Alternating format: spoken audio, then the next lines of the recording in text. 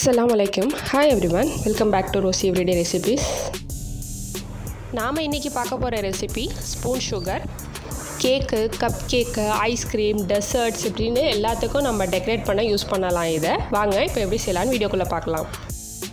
First ஸ்டெப்பாக ஒரு பவுல் எடுத்துக்கலாம். அதை திருப்பி போட்டுக்கோங்க. அதுக்கு மேலே கொஞ்சமாக ஆயில் தடவிக்கோங்க.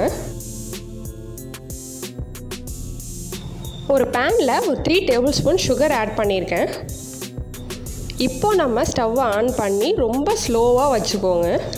தண்ணி அந்த மாதிரி எதுவும் சேர்க்காம நம்ம மெல்ட் பண்ண போகிறோம் அது தானாகவே உருக ஆரம்பிக்கும். ஃப்ளேம் நம்ம ரொம்ப ஸ்லோவாக வச்சுருக்கிறதுனால டூ டு த்ரீ மினிட்ஸ் ஆகும் அது மெல்ட் ஆக ஸ்டார்ட் ஆக.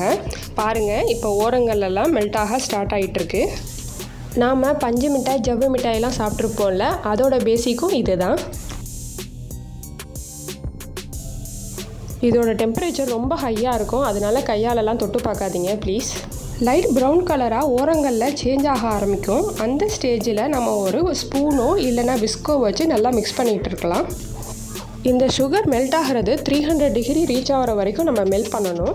த்ரீ ஹண்ட்ரட் டிகிரி எப்படி ரீச் ஆச்சுங்கிறத ஒரு தெர்மாமீட்டர் யூஸ் பண்ணி அவங்க செக் பண்ணுறாங்க அது நார்மல் தெர்மாமீட்டர் கிடையாது. நாம் எப்படி அந்த டெம்பரேச்சரை தெரிஞ்சுக்கலாம் அப்படின்னாக்கா ஒரு ஸ்பூன் எடுத்து அதை நீங்கள் ஃப்ளோ பண்ணிங்க அப்படின்னாக்கா அழகாக விழுகணும். அதே சமயம் பாட்டமில் வந்து கொஞ்சம் திக்காகிட்டே இருக்கும். இதுதான் பர்ஃபெக்ட் கன்சிஸ்டன்சி இந்த கன்சிஸ்டன்சியை ரீச் பண்ணதுக்கப்புறம் ஒரு பவுலில் ஐஸ் க்யூப்ஸை போட்டு வச்சுருந்தீங்க அப்படின்னாக்கா அதில் தூக்கி பேனை வைங்க. டார்க் ப்ரௌன்லாம் வந்துருச்சு அப்படின்னு சொன்னாக்கா சுகர் ஒரு மாதிரி கசக்க ஆரம்பிச்சிடும் பவுலில் மேலே எண்ணெய் தடவி வச்சுருந்தோம்ல அதுக்கு மேலே இப்போ நம்ம மெல்ட் பண்ண சுகரை இந்த மாதிரி ஸ்பூனில் எடுத்து ஸ்ப்ரெட் பண்ணுங்கள் உங்களுக்கு எந்த மாதிரி வேணுமோ அதாவது பவுல் ஷேப்பில் வேணும் அப்படின்னு சொன்னாக்கா அதுக்கு தகுந்த மாதிரி ஊற்றிக்கோங்க நான் இன்றைக்கி ஊற்ற போகிறது வந்து ரேண்டம் ஷேப்பு அதனால் வந்து நான் சாதாரணமாக தான் ஊற்றிருக்கேன் இந்த மாதிரி ஊற்றுனதுக்கப்புறம் ஒரு two two three minutes wait பண்ணுவோம். கொஞ்சம் கூல் ஆகட்டும். இல்லாட்டி நம்மளால் கை வைக்க முடியாது. என்னோடது ஓரளவு கூல் ஆகிடுச்சு அதனால் நான் எடுத்துகிட்ருக்கேன் உங்களுக்கு அழகாக பவுல் மாதிரி வேணும் அப்படின்னாக்கா அந்த மாதிரி ஸ்ப்ரெட் பண்ணிவிட்டு அதை ட்விஸ்ட் அண்ட் டர்ன் பண்ணிங்கன்னா அழகாக கிடைக்கும். நான் வந்து இங்கே ரேண்டமாக தான் ஊற்றிருக்கேன் அதனால் நான் சாதாரணமாகவே எடுக்கிறேன்.